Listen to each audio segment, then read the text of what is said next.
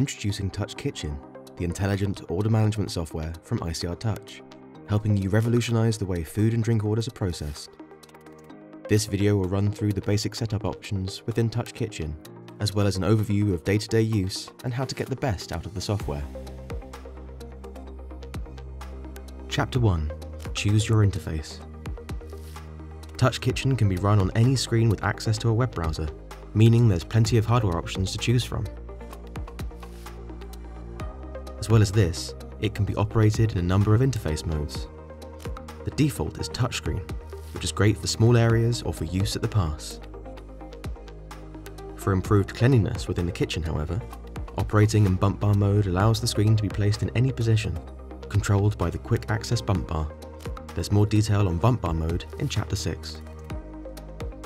A keyboard input mode can also be used, or a hybrid of them all. TouchKitchen is fully flexible and can be configured to work in a way that best suits your team. Chapter 2 The Home Screen Welcome to the TouchKitchen home screen. This is where all your orders will be clearly displayed and will form the base of your workstation. The order grid fills the majority of the screen, with plenty of space to hold multiple orders. By simply zooming in and out on the browser, you can adjust the number of orders that display here. At the bottom of the screen, you can see the peg bar. This peg bar is where all pegged orders will sit until they are either unpegged or finished. Orders can be pegged between courses, meaning that they are removed from the active order grid but kept visible in the peg bar for quick recalling later, for example, when the second course is required. The toolbar sits on the right side when in touchscreen mode and contains the quick action buttons to serve and peg an order, to view recently finished orders, and to change the status of items within an order.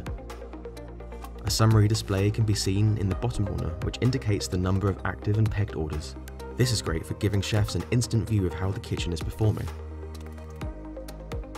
A clock is positioned at the bottom of the screen, which can be turned on or off within the settings. Chapter 3 Orders Now let's look in more detail at the individual order display.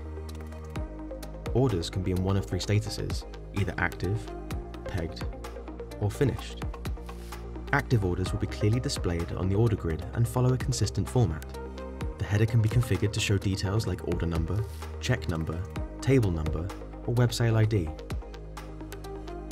This will be followed by the timer, which can either count up from when the order was first received, or count down from a specified preparation time. A category and relating icon can be displayed to help with easy identification of eat-in or takeout orders for example, these categories and icons can be configured to best suit your business. Order index numbers can be turned on, which provide a consecutive number on each of the on-screen orders. This is particularly useful when in bump bar mode. A traffic light system is in place to visually warn kitchen teams when orders are nearing their due time. Timers can be set which will automatically change the order colour from green when it's within time, to amber when it's nearing the due time, and red when it's overdue. Chapter 4 categorizing orders. The items within the order can be split by a specified sort method, relating to categories, departments, PLU groups, or seat numbers set up on your TouchPoint till. This means chefs can easily see the full order, or configure their screen to display only items within specified categories. With TouchKitchen in use within a large kitchen environment, this means each station can be configured to display only the relevant order items as necessary. For example, the pizza oven can display only pizza order items, and the bar displays only drink order items, while the pass chef still has sight of everything. Fully scalable, this configuration across multiple screens provides unrivaled flexibility. The icons and colours of each of these categories can also be customised. Chapter 5 Basic TouchKitchen Functions Now let's look at some of the basic day-to-day -day functions of TouchKitchen and how to use it within touchscreen mode. By selecting an individual item on an order, the status can be changed to show it as finished. This change of item status will be shown across any TouchKitchen screen displaying that order, meaning the whole kitchen team can be kept up to date with its progress. Using the quick action buttons at the bottom of each order, the order can be either pegged or served as finished. These same actions can also be completed via the right hand toolbar. Once an order has been served, it will be moved to the finished orders screen, all finished orders can be recalled by selecting the Finished button in the toolbar. Pegging and unpegging orders can be finished with a single press. Select the peg button either in the toolbar or at the bottom of the order to move that order to the peg bar at the bottom of the screen. This is ideal for storing orders between courses. To unpeg an order, simply press once on the pegged order and it will reappear in the active orders grid. Chapter 6 Operating in bump bar mode. When operating in bump bar mode, a number of toolbars and buttons are removed from the screen to enable a simpler working station. In this mode, you can see that both the right hand toolbar and the quick action buttons at the bottom of each order have been removed. That's because all of these actions can now be easily completed by utilising the handy bump bar.